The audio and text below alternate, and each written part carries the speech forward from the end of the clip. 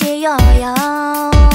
上味着いたった今 T シャツめくってすり抜けてきた君の手がひやり冷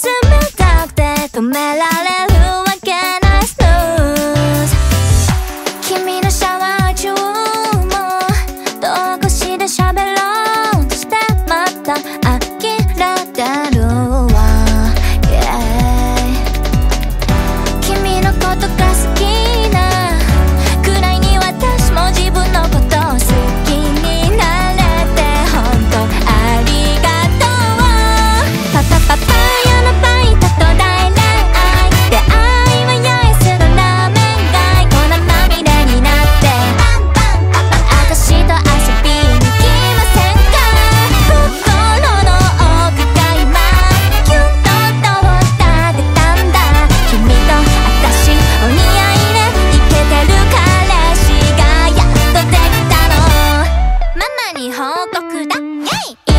りきたりな毎日グルービー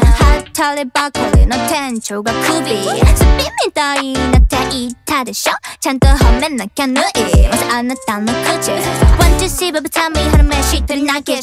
映画のワンシーン見てても気持ちは始末はないけ冷蔵庫の中でラップそれてるパンでも私でやない寝かせないでよ朝までいこうよ